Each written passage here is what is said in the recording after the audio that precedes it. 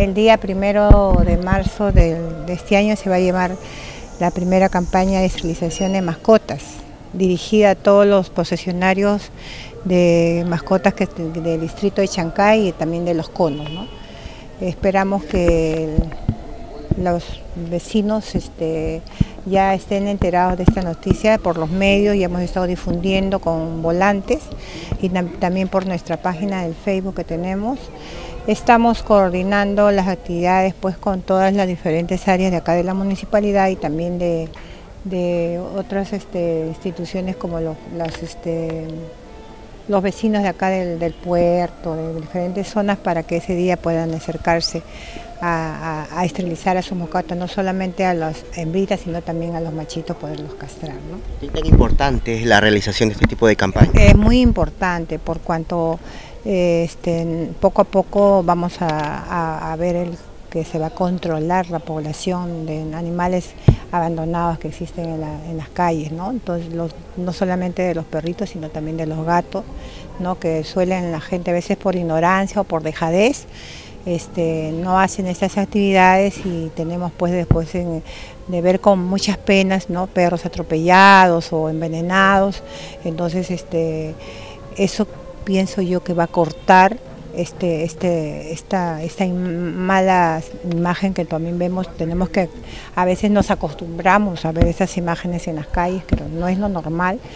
Este, y esa es una forma de que, de que los dueños de mascotas también este, tengan conocimiento de que esta es una forma de maltrato animal. El animal no se tiene por qué perpetuar.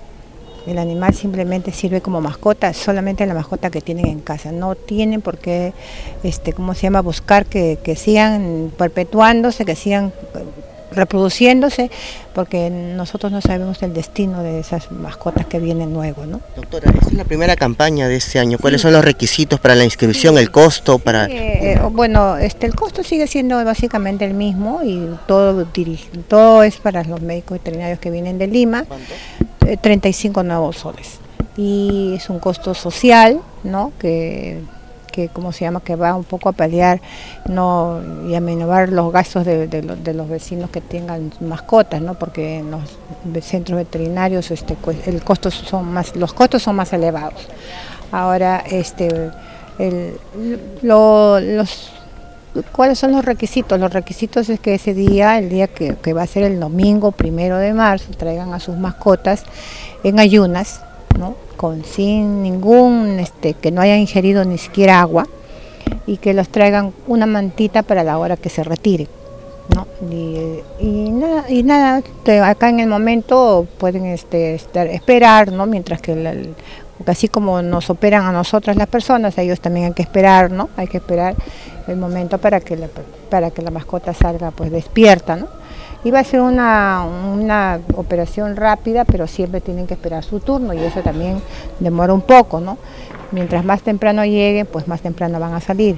Nosotros, claro, nosotros tenemos siempre una meta de 50 personas que traigan a sus mascotas, ¿no? Este, hay veces personas que traen que traen dos o que traen tres también, ¿no? llegamos a veces a 50, hemos, hemos llegado hasta 65 el año pasado por cada vez que venían las, doctoras y bueno, pensamos hacer este, este año también unas cinco campañas, queremos con esto lograr pues controlar el, desmesurado afán de las personas por porque se reproduzcan los animales, que no es para nada saludable, sobre todo cuando vemos en las calles que están abandonados, enfermos con sarna ¿no? y con otras enfermedades mucho más contagiosas, también no solamente para los perros que están en el entorno, sino también para los perros que tienen dueño que también salen a veces a las calles, comparten las mismas calles, comparten los parques y se contagian de esas enfermedades.